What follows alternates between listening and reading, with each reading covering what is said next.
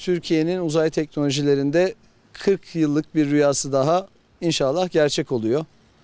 1984 yılında dönemin Cumhurbaşkanı rahmetli Turgut Özal Türkiye'nin uzayda yörünge haklarını muhafaza altına almaya gayret ederken bir yandan da ODTÜ yerleşkesinde TÜBİTAK Uzay Araştırmaları Enstitüsü'nü kurmuştu.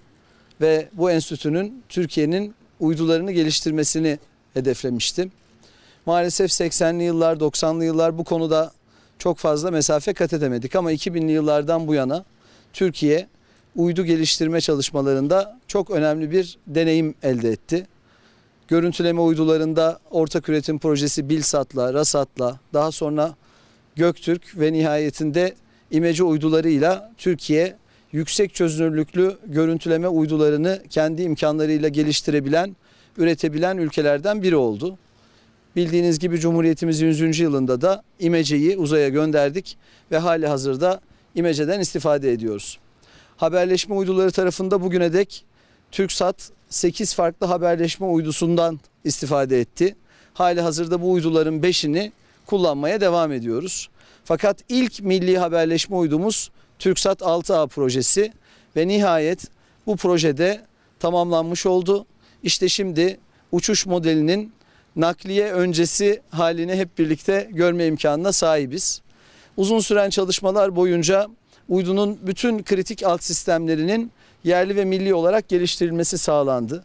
Uçuş bilgisayarları, güç dağıtım düzenleme birimleri yerli ve milli olarak üretildi ve %81,4 yerlilik oranıyla TürkSat 6A'nın üretim süreçleri tamamlanmış oldu.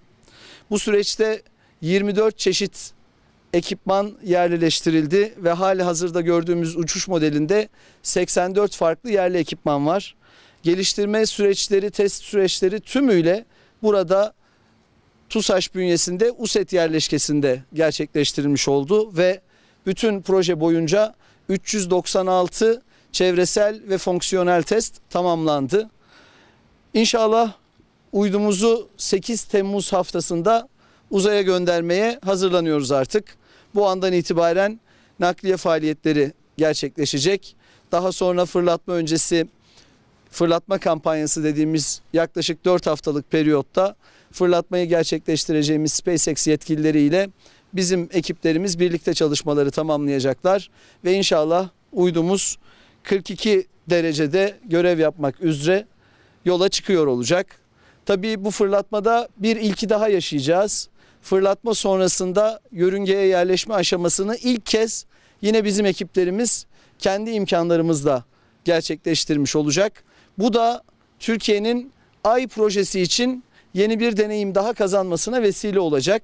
Uydumuzu kendi ekiplerimizin çalışmalarıyla görev yapacağı yörüngeye transfer etme deneyimini inşallah bu fırlatmayla birlikte elde etmiş olacağız. 4250 kilogramlık bir uydudan bahsediyoruz TürkSat 6A dediğimizde. Bu anlamda da daha önce yerli olarak geliştirdiğimiz yaklaşık 600 kilogram boyutundaki görüntüleme uydularımızla mukayese ettiğimizde çok daha büyük ve sofistike bir teknolojik üründen bahsediyoruz. İnşallah önümüzdeki dönemde Türkiye yerli uydu geliştirme faaliyetlerine devam edecek. Tabii haberleşme uydularında bugüne dek 118 ülke, ülkede 3 milyarlık bir nüfusa erişme imkanı vardı TürkSat uydularının. Şimdi özellikle Güneydoğu Asya'yı kapsayan, Endonezya, Malezya ve Hindistan'ı kapsayan haberleşme imkanını da TürkSat 6A ile birlikte elde etmiş olacağız.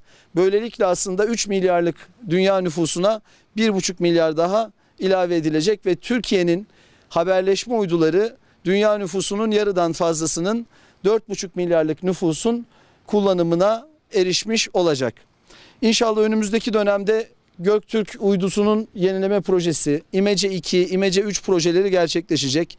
Bir yandan ekiplerimiz Ay projesi için de çalışmalarını sürdürüyorlar.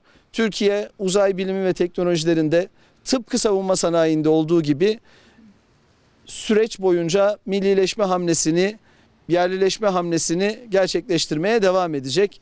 Bütün bu projelerin her biri bizi bir sonraki proje için cesaretlendiriyor.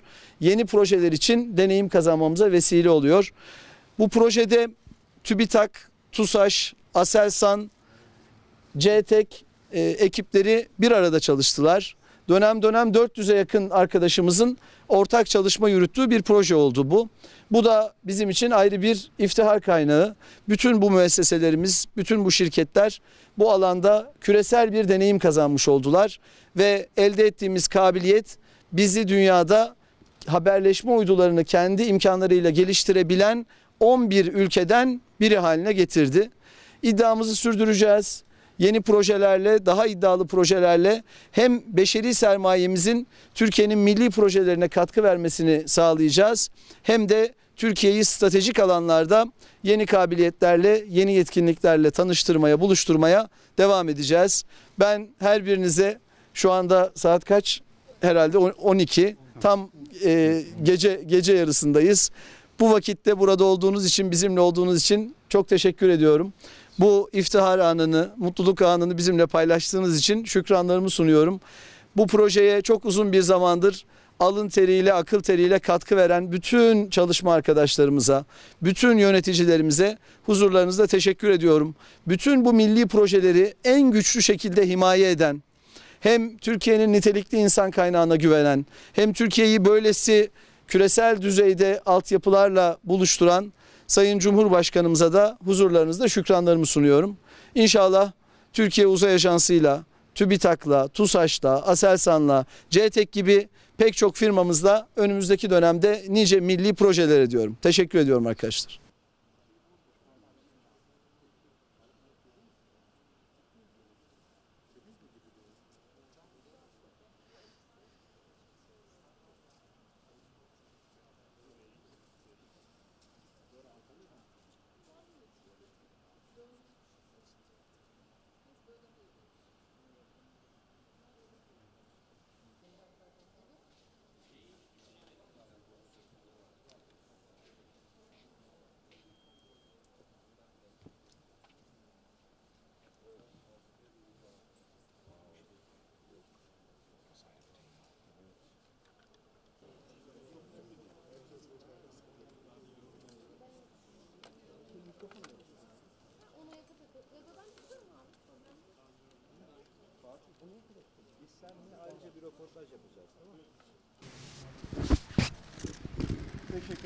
Çok teşekkürler, çok sağ olun. Teşekkürler, çok sağ olun. Hayırlı olun inşallah. Abdullah abi. Allah razı olsun. Geçen herkese teşekkür ederim.